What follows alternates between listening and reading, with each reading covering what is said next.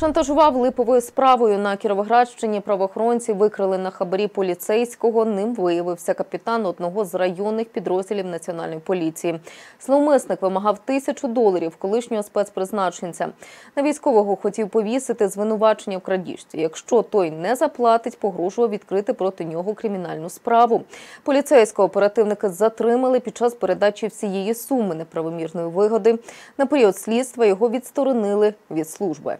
Наразі йому оголошено підозру за частиною 3 статті 368, санкція якої передбачає ув'язнення строком від 5 до 10 років е, з забороною займати певні посади. Також йому обрано запобіжний захід у вигляді тривання під вартою е, з можливістю внесення застави у розмір 142 тисячі гривень.